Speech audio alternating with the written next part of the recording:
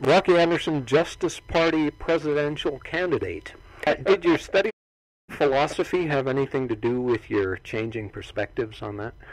Well, the one thing I remember that really hit me hard studying philosophy was the fact that we are, every one of us, responsible for our decisions. And we have a responsibility to make decisions, to learn about what's going on, and then to make the right decisions and to act in a way that is best. And you, you, you never, there's never a timeout. You don't get to say, well, I'm, I'm not going to take a stand on this, or I'm just going to turn a blind eye.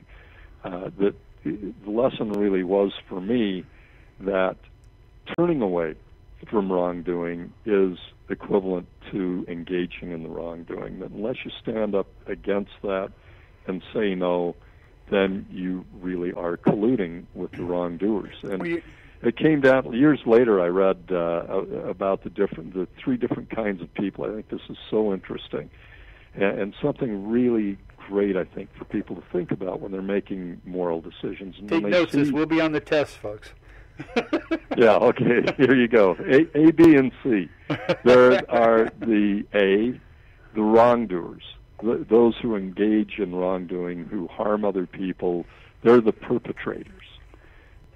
Secondly, they're the bystanders, and that I hate to say is the vast majority of people. Yeah, getting bigger. Who accommodate the wrongdoing. They don't do anything to stand up against the wrongdoing, even though they recognize it as wrongdoing but out of fear or intimidation or apathy, or they just don't feel like it's their business, they're not going to bother themselves, then they don't do anything to stop it.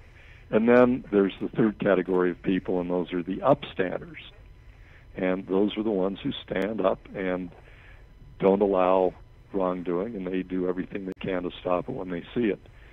And um, so I always really have felt that I need to be among the upstanders. And even if it's an unpopular position, even if it doesn't jive with uh, what's go- what else is going on in the community, um, but you, you, we, we've seen so many times in history when wrongdoing took place and nobody stood up, and there, there people were afraid or intimidated or just lethargic about it, and the wrongdoers then had their way, and so much harm was done in the world. Yeah, uh, recent recent uh, history, of course, uh, Nazi Germany uh, and Karl Bonhoeffer, isn't it, uh, voiced that position exactly. That uh, if you're quiet about this thing, to be silent is to be in, complicit. Exactly. Eugene Ionesco's play Rhinoceros was an allegory. It's a wonderful play, but it's an allegory about the rise of fascism Absolutely. in Europe. You'd be surprised and how many people don't know many, that name. Eugene Ionesco. Yeah, yeah, isn't that true? But uh, I really encourage everybody read that play, and then you look around. You'll see this country is full of rhinoceroses right now. Yes. So how does the how does the allegory work exactly in this? Well, in the play, um, all of a sudden in this little village, this guy is, sees uh, out of the corner of his eye a rhinoceros run by, and then he sees over time more and more of them around, and he's expressing. His name is Berenger. I still remember that name. I haven't read the play since I was in college. It's one of those that really do stick with you. But so he's complaining to this man that he's having uh, a meal with at an outdoor cafe. He said, "You know, this is we've got to do something about this. All these all these rhinoceroses around, and and this guy is giving him every reason that oh, it's not not your business. If you get involved, they might do you harm. They're not hurting you. What? Why do you care? All of the kinds of reasons that we hear people give for not standing up against massive human rights abuses, torture, uh, wars of aggression uh, what happened in Iraq, what's happening around the world with uh, the kidnapping and torturing of people, and, and no accountability for it. Now, the President of the United States taking on the authority to point the finger at anybody, including U.S. citizens, and have them indefinitely detained for the rest up to the rest of their lives without any charges, trial, legal representation, or right of habeas corpus. Sounds like and, the NDA you know, to if me. this were happening in other nations, but in this country, it seems like everybody is anesthetized.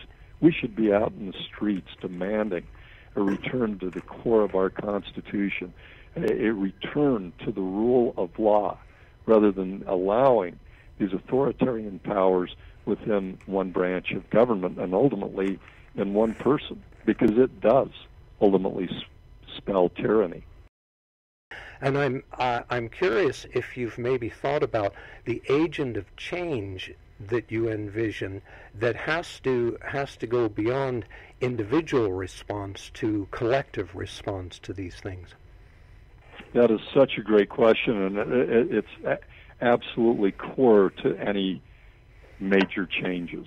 Uh, every progressive movement in this country, although there were certainly leaders, it never happened because of one person, but it, they also never happened because of anybody in elective office. It was passionate people pulling together, organizing at the grassroots, and not letting up until these changes were accomplished.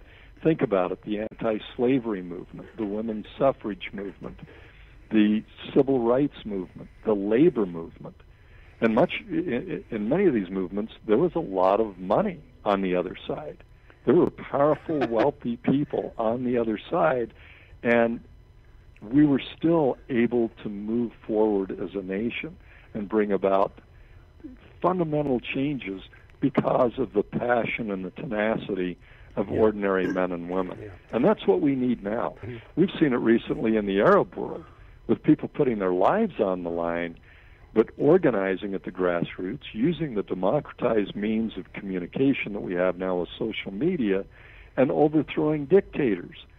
We in this country, if we'll get off our couches and commit to this and work together and organize, we can overthrow the dictatorship of the corrupting influence of money in our government. The Occupy movement is starting to evolve into something very close to that. Um, yeah, I, w- I was going to ask you about how, how you see the Occupy movement in terms of this agency of change we're talking about. Well, I think it's such a healthy thing. I, w- I was wondering throughout the Bush administration, where is everybody? With all of this going on, some of us on the eh, streets are wondering the same both thing. economically. Pardon me. I said some of us on the streets were wondering the same thing. yeah, I mean, it, it, it, and especially young people, because young people are always essential to moving things forward in this country. And it, it was really distressing to me to see that, that not only these massive human rights and constitutional violations, but the enormous disparity in wealth in this country, the creation of a a two-tiered not only financial system where you have a very narrow financial elite, very wealthy elite, and then everybody else struggling to barely get by, some people not getting by anymore, and then also a two-tiered system of justice where the rest of us are held to the law, sometimes with an absolute vengeance, especially as the drug laws are applied. Uh-huh but those who are committing federal felonies and undermining our republic are allowed to go scot free and there's no accountability. White collar. So I think the Occupy movement is a very healthy manifestation, at least a sign that people are getting it, that they care enough to take action, and I hope they they won't let up, and I hope that they'll bring more and more people along with them. And while they're doing all that they're doing, never losing sight that they need to be involved in the electoral process when there are candidates that stand for what they want to see in this country. Opportunity uh, is at the core of all of it. If people are not getting the education, the, employment opportunities, we'll never see a closing of that gap. Uh, but if you'll read, uh, Paul Krugman wrote a great book, uh, Conscience of a Liberal, and he traces the history of this great disparity in wealth and income from before the Depression, the Great Depression, until well, a few years ago when he wrote when he finished the book. And tax policy has an enormous amount to do with this. Uh, we built a very healthy economy, built a strong, solid, thriving middle class by engaging in much fairer progressive taxation. And that started getting unwound with, during the Reagan years, although he did, when he saw that uh, we weren't bringing in the revenues we needed, he, he then uh, instituted some, I think he called them fee increases, something like that. What? No, that's not exactly the word. I, it, it was something other than taxes, though. But um, then we saw during the George W. Bush years a devastating giveaway to the wealthy. And it's the first time when this country was fighting a war that we've ever given tax breaks.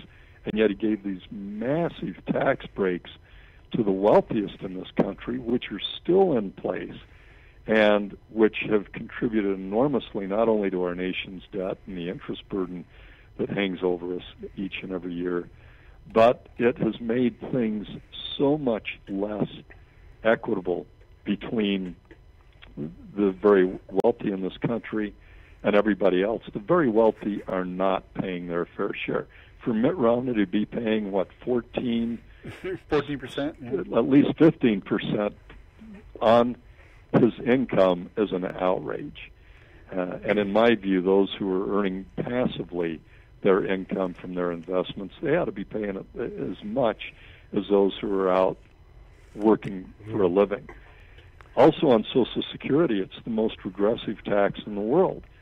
People only pay they pay the same percentage, uh, 6.1 percent or or two percent, up to 106,000 or 107,000 in income, and then after that, nothing else is paid on it. So if you're making 100,000 a year and somebody else is making a million dollars a year, they're paying a slight fraction of what you're paying towards Social Security and yeah. Medicare. That's just wrong. Yeah. Well, we've also it's, priced... it's so inequitable the way these things have been set up now. The for-profit colleges just had their way with Congress once again, and with the White House. Uh, they, the federal government was going to stop guaranteeing student loans to some of these for-profit colleges that were pumping out a lot of students with diplomas but none of the skills or training to get jobs. Yeah. And so these for-profit colleges, most of them are owned by investment banks, uh, they poured millions of dollars into the lobbying effort and watered the legislation down entirely. But so, that's how public policy is made. That's why we see the kind of, uh, of outrageous actions by Congress and by the White House. And I hate to say this about President Obama, but he is right there in bed with them. Republicans, Democrats alike are feeding from the same trough of special interest money, and it's time that we all realize that and stop voting for people just because they're on our old team. We consider ourselves a Republican or a Democrat, and so we vote for folks just because they still carry that label, where in fact they are betraying those fundamental values that we believed in all these years. Yes, actually, uh, I was not going to get into this race because of that very concern. And I had a lot of discussions with people. I thought about it a lot. And then it finally hit me. If we allow that consideration to be dispositive, that is, that the lesser of two evils may not get elected. Yes. And therefore always reject a completely different way, a completely different approach. Candidate who will stand up for the public interest rather than the corrupting influence of money flowing into Washington, then we'll never see change. It, it, a vote for either Barack Obama or the Republican nominee is a vote for more of the same. It's a vote for the status quo. And so if we want to see real change, we need to get behind a candidate like me and a party like the Justice Party that is taking a stand for the public interest and, and where the, the candidate, in this instance me, uh-huh. has a solid record, decades long, of standing up, both for people's constitutional rights, for the rule of law, standing up against wars of aggression, standing up against the military industrial complex, standing up against corruption in our political system. I've been working on all of those things and more during most of my adult life. So if you want to see that kind of change, then you need to get beyond the sphere of somebody being a spoiler. I think a corollary to that is where do we draw the line? It, everybody needs to ask themselves do they, as an upstander, have a line that they'll draw that they'll say no more? I won't support somebody who, for instance, has so little regard for the rule of law that as soon as he's elected, he says, "Oh, let's forget about these war crimes. Let's forget about felonious, warrantless wiretapping Hiring of American lobbyists. citizens' communications. I know that was something you just Let's came just out put it behind us." So you just addressed Yeah. the issue of him hiring lobbyists. Exactly. And, well, and and even when he was in the Senate, the lobbyists had their way with Barack Obama. He had promised before he got the Democratic nomination that he would join a filibuster to block legislation that was proposed to grant retroactive immunity for federal felonies committed by certain telecommunication companies in cooperating with the illegal surveillance program on American citizens. And then as soon as he gets the Democratic nomination, he betrays that promise, turns 180 degrees, and this is after millions and millions of dollars have been poured in to a lobbying campaign by the telecommunication companies, and Barack Obama voted for the retroactive immunity. Now, I don't know about you, but I know I can't commit a federal felony and go back and get Congress to pass special legislation saying retroactively that I have immunity. And then it just gets worse. Will you draw the line when a president says he's going to get us out of these wars and we end up having more troops in Afghanistan, significantly more now than we did when Barack Obama came into office? Are you going to draw the line on a president who says he, he believes in our Constitution and due process, but who adds the names of U.S. citizens to assassination lists? The Due Process Clause says the government may not take anyone's life, liberty, or property without due process of law, and yet he just adds them to a, an assassination list and has them taken out.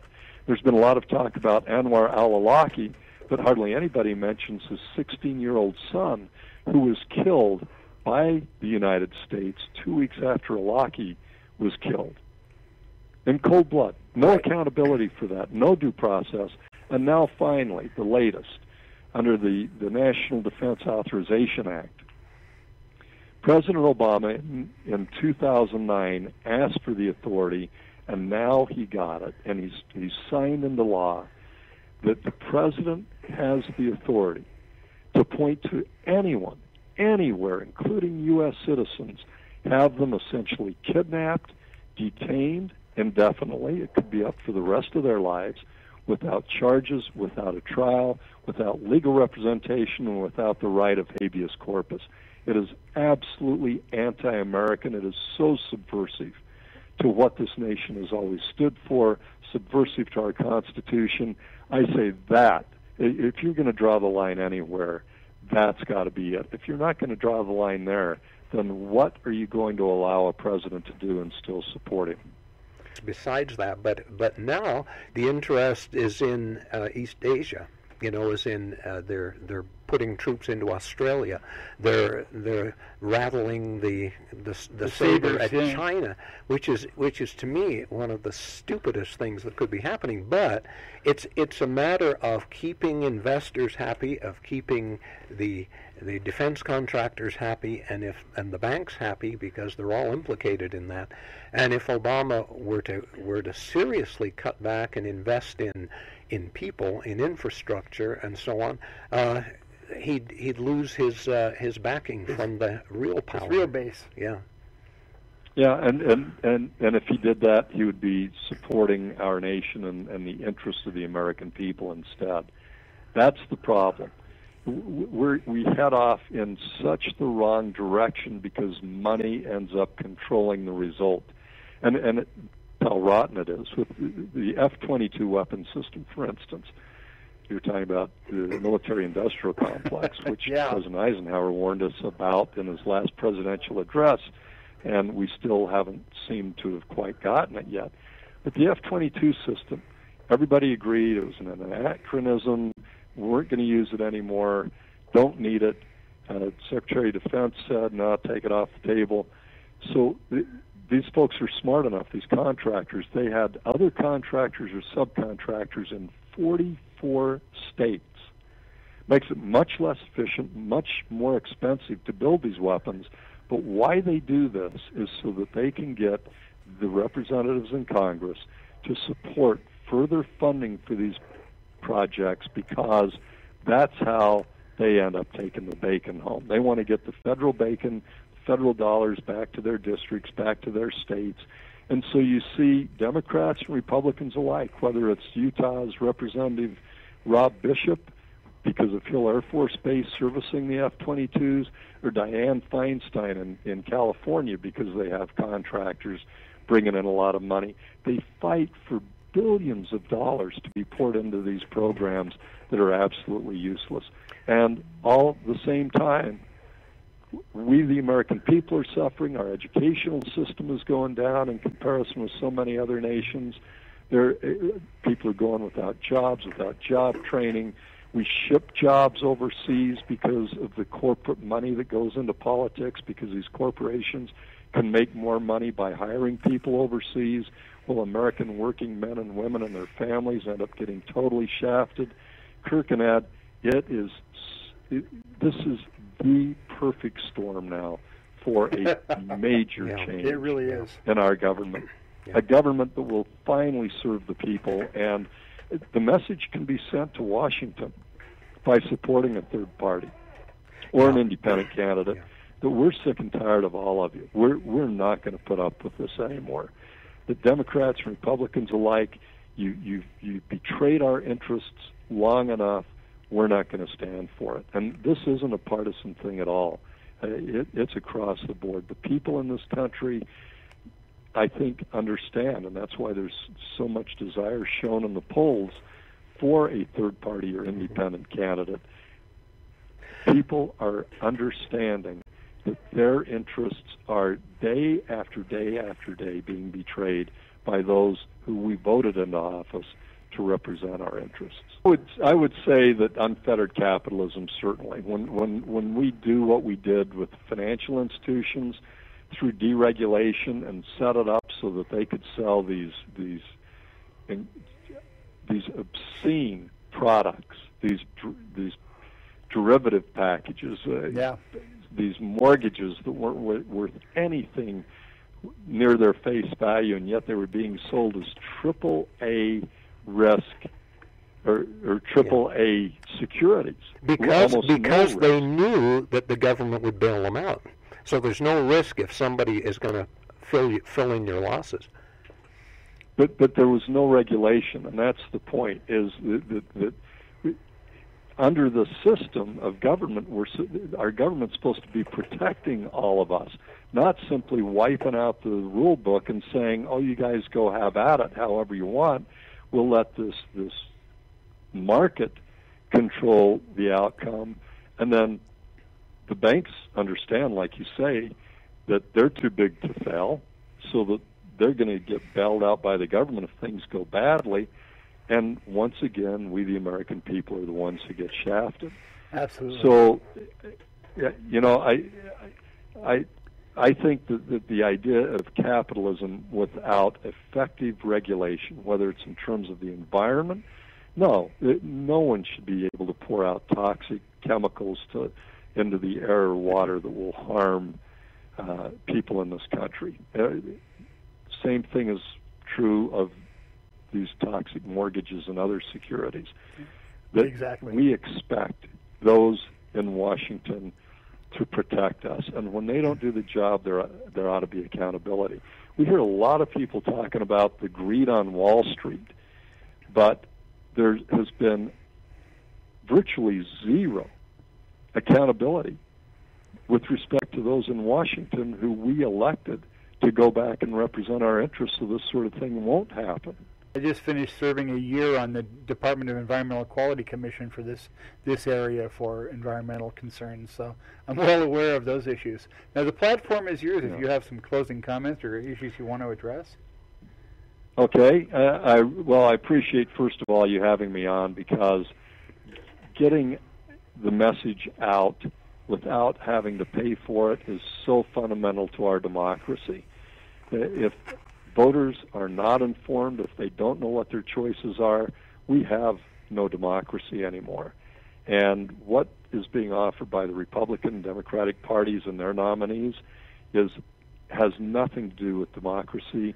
It has everything to do with plutocracy, and that means government by the wealthy. That is, those who can pay for it get what they want. The rest of us are basically enslaved by the state, and it's getting to be that way more and more. People without jobs, or they're underemployed, where there aren't the job opportunities that they'd like to pursue in life, they don't have the health care coverage. Uh, so many young people burdened, and many of them will be burdened for the rest of their lives with student debt that is now non-dischargeable in bankruptcy, which we could spend another half hour on. That is an absolute outrage that that could have ever happened. And then uh, 11 million homes in this country that are underwater. They're they're worth less today than the mortgages that are owned on them. Uh, there hasn't been this kind of situation. As I said earlier, that kind of uh, this kind of economic disparity between the very wealthy and the rest of us since before the Great Depression, since the 1920s. It's never been this bad. So you can either go in and vote for Republican or Democrat and just move the players around within this corrupt system, or you can choose finally to vote for somebody, to vote for a party that represents a completely different way, a completely different paradigm, and who represents government serving the interests of the people of this country finally, rather than simply those who are buying and paying for Congress and the White House. Thanks so much. Take Thank care. you. Okay, bye bye. Bye bye. And there it was. That was Rocky Anderson joining us today. He is the, the viable third party candidate in this current election. Um, as you could tell from where he was coming from, he's a very rational guy with a lot of experience, and uh, you're going to want to consider him. I believe uh, I'll, I'll, we'll give out his website before we're done. VoteRocky.org. Really cool. VoteRocky.org. And uh, he doesn't accept campaign contributions of over a hundred bucks